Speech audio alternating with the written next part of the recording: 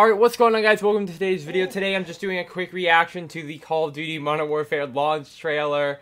Alright guys, so let's go ahead and do this Call of Duty Modern Warfare launch gameplay trailer. I'm excited for the midnight release. I'm excited to pick it up. I'm excited to make all the videos and stuff. I'm really excited about it regardless, you know.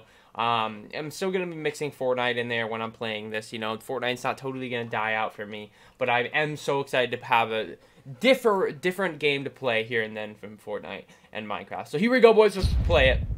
Here we the go. rules of engagement have changed. Stand clear! All stations on my mark. Damn, dude, it's so close. Only, only almost like 15 days left. 16, 17 days left. Until it comes off. Comes out. Ah, oh, that music choice is amazing. I'm so excited for the campaign. So excited for the campaign. That'll get their attention. This is crazy.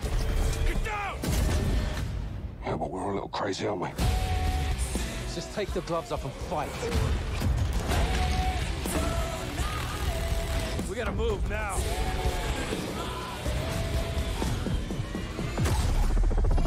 Ooh. Want the gloves off?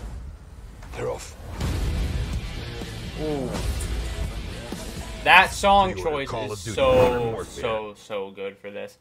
I am really excited, man. I'm excited for this to come out. I mean, it seems like everybody's excited too, so that's good. That's good. I'm glad everybody's excited about it. I'm glad crossplay is huge for this game. Um, it's just it made so many more people play it during um, when it was out and the beta and stuff. So I'm really personally really excited about this, guys. Um, let me know what you guys think about Modern Warfare if you're picking it up. This is definitely going to be a mixed game. I'm going to be playing it with Minecraft and Fortnite and everything when it comes out. going to do a midnight release vlog and unboxing and all that stuff. Um, I'm excited. So let me know what you guys are thinking, and I will catch you guys in my next video. Peace out, guys.